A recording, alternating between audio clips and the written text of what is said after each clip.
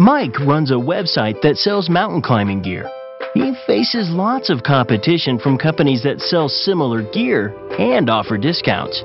Still, Mike's online business is growing gangbusters.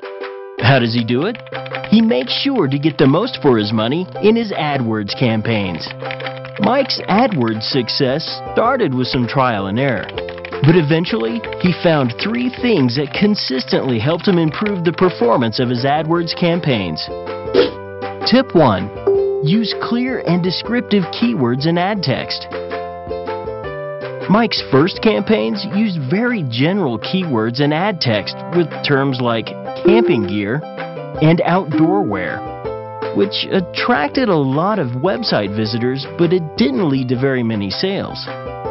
When he focused his campaigns on very specific keywords like trekking poles and mountain climbing helmets, his ads reached a smaller audience, but his profits went up.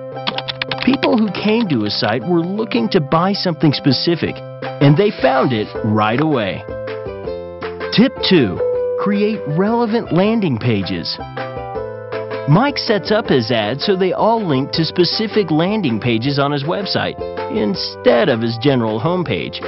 This way, people searching for trekking poles who click on Mike's ads go directly to pages with useful product information and a clearly labeled buy button. This makes it easy for visitors to find and buy what they need. Tip 3. Monitor and adjust bids. Some keywords are more profitable than others.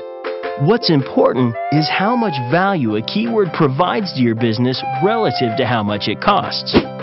When Mike sees that a keyword like trekking poles is attracting paying customers, he's willing to invest more in it. So he increases his bid to improve his ad position and bring in more visitors likely to buy. Because his goal is sales, not just website traffic, Mike lowers his bids on keywords that generate ad clicks but don't tend to lead to purchases, like camping, and he deletes the keywords that don't generate sales at all. Simple tips like these can help improve the performance of your AdWords campaigns.